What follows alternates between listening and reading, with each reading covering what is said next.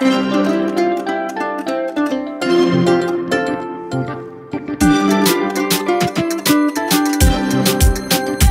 ज्यांची आज सत्ता आहे ते म्हणजे राष्ट्र Rashtrawadi Congress party Congress party आणि शिवसेना यांची. त्यातले एक आमदार प्रकाश गजभिये हे सर आपल्यासोबत आहेत. त्यांनी जवळपास तेराशे किलोमीटरचा प्रवास करून आज या युपीच्या गावात आले तिथल्या घटनेचा आढावा घेण्यासाठी. मी सरांना विचारू इच्छितो की सर म्हणजे तुम्ही तिथून तुम्हाला काय माहिती मिळाली किंवा उत्तर प्रदेश पोलिसाविषयी किंवा इथल्या सरकारविषयी तुम्हाला काय वाटतं एकंदरीत हे आढावा घेतल्यानंतर? त्या ठिकाणी जी घटना घडली जे आम्ही बघितलं ते त्याच्यावरून असं वाटतं की त्या पीडिताला खऱ्या अर्थाने बरोबर त्याने मारलेलं आहे. आणि असं असं फ्युनरल करायला नको पाहिजे होतं जे करण्यात आलेलं आहे.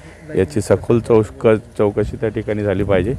आणि त्या पीडितेला न्याय मिळाला पाहिजे त्या परिवारांना न्याय मिळाला पाहिजे. आता ते आता हे सरकार काय करते माहीत नाही. आता त्याच्यावर पुन्हा आरोप प्रत्यारोप असं सुरू आहे हे कुठेतरी थांबवलं पाहिजे आणि दलितांना न्याय मिळाला पाहिजे. दलित मुलीला त्या न्याय मिळाला पाहिजे. आणि महाराष्ट्रभर आज एक आंदोलन उभा करण्याचा प्रयत्न सुरू आहे.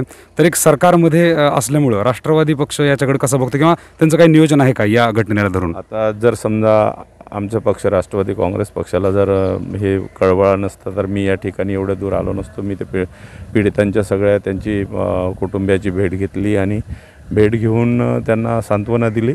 आणि निश्चितच तुम्हाला न्याय मिळवून देऊ आम्ही असं त्या ठिकाणी त्याला सांगितलं. ओके खूप खूप धन्यवाद साहेब. प्रकाश गजभिये हे या ठिकाणी आले होते. महाराष्ट्रातले एक राष्ट्रवादी काँग्रेसच्या ह्याच्या मंत्रिमंडळात एक आमदार राहिलेले आहेत. आता ते या ठिकाणाहून निघत आहेत. त्यांनी सांगितलेलं आहे की राष्ट्रवादी याकडे कसं प्रकारे लक्ष देते किंवा महाराष्ट्र गव्हर्नमेंट याकडे कसं पाहत आहे याच्याविषयी त्यांनी आपल्या थोडक्यात माहिती सांगितलेली आहे. कॅमेरामॅन आदिल खानसोबत मी व्यंकटेश नरसिंगे महाराष्ट्र जीवनसाठी उत्तर प्रदेश.